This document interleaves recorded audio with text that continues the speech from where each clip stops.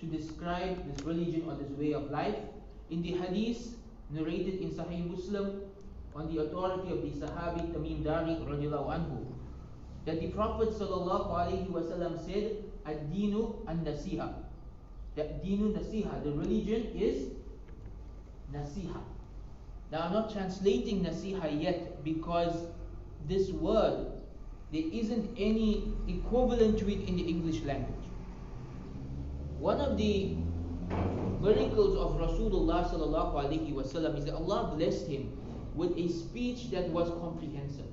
Rasulullah sallallahu alaihi wasallam could say something in two words or three words, and we would need an entire lecture or an entire book to understand it, because the words he used were that dynamic and that comprehensive. And the word nasiha is an excellent example of this. Because the word nasiha means many different things. But there are two primary meanings, or three primary meanings that I want to cover today. And nasiha means sincerity. And nasiha means wanting good for others. And an nasiha means advising each other. And so these are the three meanings that we are going to look at today, inshallah. What does it mean that this religion is a religion of sincerity, it is a religion of wanting good for others, and it is a religion of advice. What does this mean, and how do, how do we apply this to our lives? This hadith, many of the early scholars had stated that this is one of the hadiths that summarizes all of Islam. If you want to know what Islam is, what Islam is about, how do you be a Muslim, this is the hadith that you follow. To such an extent that one of the early scholars stated that just this hadith alone is enough to guide you on how to live your life. Why? Because this word nasiha, it teaches us the three elements of being a good Muslim. To be sincere to Allah subhanahu wa ta'ala, to want good for the ummah of Rasulullah sallallahu and to advise each other towards righteousness. The three elements of being a good Muslim. So what is nasiha as sincerity and why is this important? Sincerity is important because this is one of the three conditions for any good deed to be accepted. Any deed that we do, it is only accepted by Allah subhanahu wa ta'ala if it fulfills three conditions. Number one, that we are Muslim. Right? For a deed to be accepted in the akhirah, we have to be Muslim. In this world, Allah will reward others for what they do, but for it to have value on the scale of deeds and, and contribute towards us going to Jannah, we have to be Muslim. Number two, it must be in accordance to what Allah has revealed. Meaning we cannot invent our own religion. We must follow the Sharia. And number three is ikhlas. It must be done for the sake of Allah subhanahu wa ta'ala. There must be no ulterior motive in the good deeds that we do. Meaning, anything that we do, we should not do a good deed for the sake of our ego. We should not do a good deed for showing off. We should not do a good deed just because somebody else told us to do it or because everybody else is doing it. We should do it for Allah subhanahu wa ta'ala. And this is the meaning of the first part of the hadith. The Sahaba asked Rasulullah sallallahu this religion is nasiha. Nasiha to who? Because the word nasiha in Arabic is the kind of verb that has an, has an object. You don't do it on your own. You don't do nasiha by yourself. It's always nasiha towards someone. So they asked Rasulullah liman, to who should we have this nasiha? Number one, he said, lillah, to Allah. To Allah. To be sincere to Allah subhanahu wa ta'ala. That whatever we do, we do it for Allah. And so let this hadith number one be a reminder to each and every one of us to always purify our intentions. That anything we do, we do it for Allah. And really this compromises the, this comprises the entire religion. Because our religion, every single deed that we do, our sincerity and our intentions plays a role in it. Right? Whether it's salah, whether it's fasting, whether it's it's uh, wudu, whether it's uh, charity, even our work, everything intention plays a role. Just to give you an example of how powerful intention is. If someone is standing and they're praying four rakah, the only difference between four rakah of zuhr and four rakah of sunnah is intention. Right? Let me give you even more powerful example of how important intention is. If someone is giving somebody else a thousand rand, The only difference between that being a good deed or a sin is his intention. Because if he's giving it to him as, as a gift, that's a good deed. If he's giving it to him as a bribe, that's a sin. Now, what's the difference between a gift and a bribe? The niyyah, the ikhlas, the nasiha, the sincerity, the intention.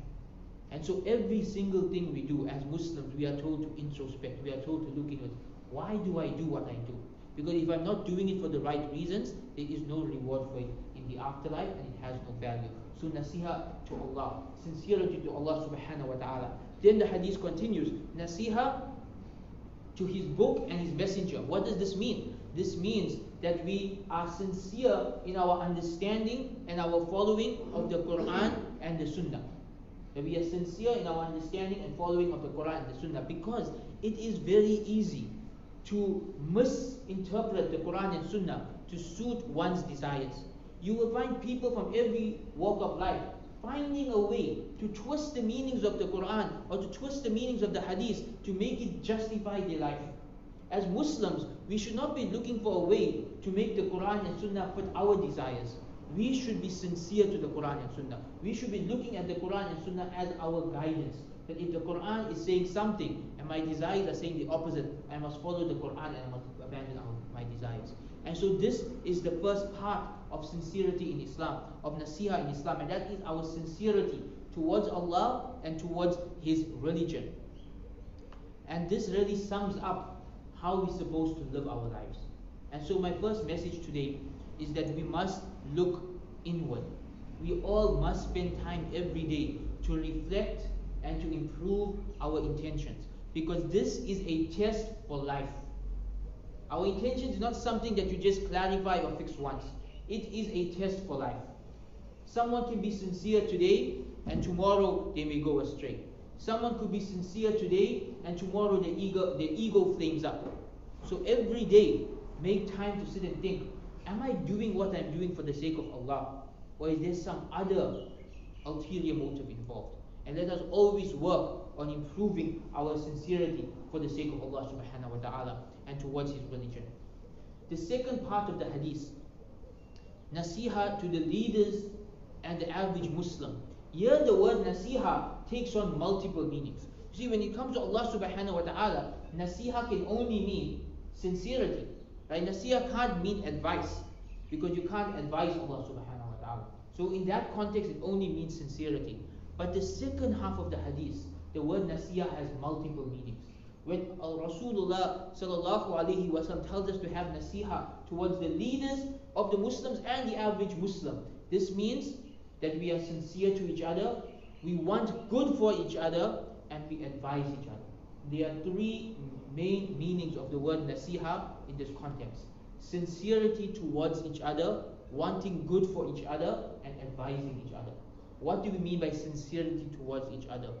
That we are not hypocritical and two faced in our dealings with each other. Sometimes a Muslim may smile at someone to his face and then backbite him the next day. Sometimes a person may tell you to their face they are happy for you, but in their heart they have hasad and jealousy towards you. This is not nasiha.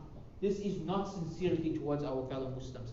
Nasiha is that we are sincere in our wanting what is best for each other. Nasiha means that our interactions with everybody, regardless of who they are, is that our interactions are always interactions that are based on wanting what is good for others and being sincere towards each other. And so this is something we can also improve. That in our interpersonal relationships, how do we interact with the next person? What do we think about the next person? What feelings are in our hearts towards the next person? Because if our hearts are full of jealousy, full of anger, full of resentment, wanting revenge, wanting the other person to fail, then we do not have nasiha, we do not have ikhlas, and we will go astray through this. We will tear apart the ummah through this. And so nasiha towards our fellow Muslims does not just mean saying things. More importantly, that our intentions in our hearts in dealing with each other is intentions that are pleasing to Allah subhanahu wa ta'ala. سبحان رب العزة عما يصفون والسلام على المرسلين والحمد لله رب العالمين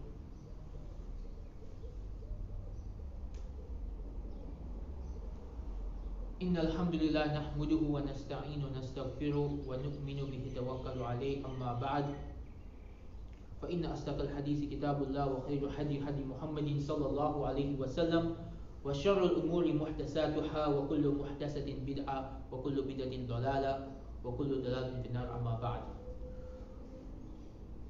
The other two meanings of nasiha are very important today. You know, nowadays we have this problem in the ummah that people, either in person or more so online, they are extremely harsh and vulgar and mean towards their fellow Muslims. They don't want good for each other. They can only see the bad in each other. When they talk, their words are full of venom. And their intentions, it's as if they can't see any good in the next person. And when you ask them, why are you doing this? They say, brother, I'm just giving nasiha. I'm just giving him advice. This is not nasiha. Because the definition of nasiha is to sincerely want good for the other person. Even when it takes the meaning of advice, if you look in the dictionary, it doesn't just say advice, it says sincere advice, well wishing advice, advice from the heart. And so, if you're giving nasiha to someone, nasiha doesn't come from a place of venom, it doesn't come from a place of ego, it doesn't come from the place of putting someone down. Nasiha comes from the place that you love your brother and you want him to succeed and you want him to go to Jannah. And so gently and privately and sincerely, you advise him about his mistakes. This is nasiha. To go online and to spread slander about Muslims, to attack your fellow Muslims, to talk bad about fellow Muslims in public, this is never nasiha. This is slander, this is gossip, this is backbiting, this is not our way of life. And no good comes out of this. This divides the Muslims, this causes people to hate each other. This causes the ummah to fragment into groups and subgroups that fight with each other. What good comes out of this kind of behavior? And so, as Muslims, let us reform the way that we deal with each other.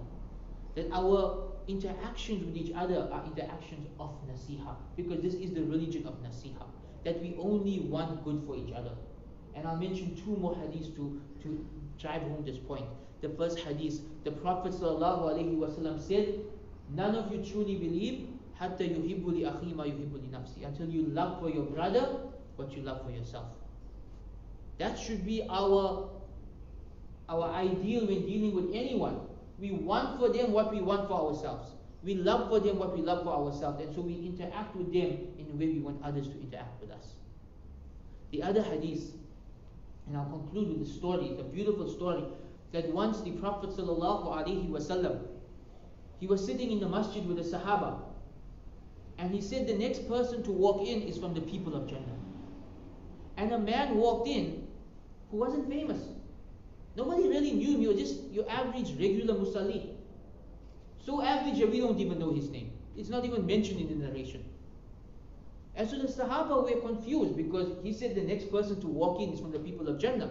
They thought Abu Bakr is going to walk in, or Umar, or you know, someone who you know is a pious man. But someone completely unknown walked in. And so one of his younger Sahaba, Abdullah ibn Umar he was curious to find out what is this guy doing to get to Jannah? I mean, nobody even knows him. And so he followed this man. And it's a long story. He followed this man. He spent a day in this man's company. He watched this man's practices. This man wasn't praying the tahajjud, maybe just two rakats towards the end of the night. He wasn't fasting in the daytime. He wasn't doing any extra dhikr or any extra Quran, nothing more than the other Sahaba. He was just your average farmer or businessman, just your average guy. He goes to the masjid, he comes home, he spends time with his family. Yet Rasulullah said he's from the people of Jannah. And so finally, Abdullah ibn Umar, he asks him, What is it? And the man asked him, What are you talking about? He said, The Prophet said you are from the people of Jannah. What are you doing that we are not doing? And the man said, I don't know. And so he thought about it for a while. And then he, told, he called Abdullah ibn Umar back and he said, I think I know what it is. I go to bed at night. I make sure I don't have any ill feelings in my heart to anybody else. Nasiha. His heart is full of wanting good for everybody else. And Abdullah ibn Umar said, That's it. That's your quality that makes you from the people of Jannah. That you want good for everyone. You don't want to have the slightest bit of ill feelings towards your fellow Muslims. And this is the level of nasiha that we strive for. That we should not have in our hearts jealousy. We should not have in our hearts ego. We should not have in our hearts hatred for our fellow Muslims. We should want good for everyone. Anyone you meet, you want that person to be from amongst the people of Jannah. And you interact with that person in a way that brings them closer to Allah, not in a way that chases them away from the religion.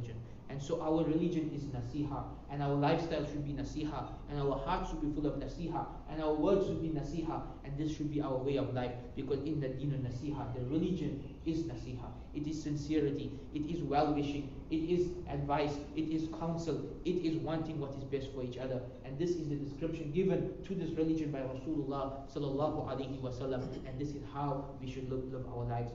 ربنا آتنا في الدنيا حسنة وفي الآخرة حسنة وقنا عذاب النار. ربنا هب لنا من أزواجنا وذرياتنا قرة أعين واجعلنا للمتقين إماما. سبحان رب العزة عما يصفون وسلام على المرسلين والحمد لله رب العالمين. أقيم الصلاة. الله أكبر الله أكبر. لا إله إلا الله.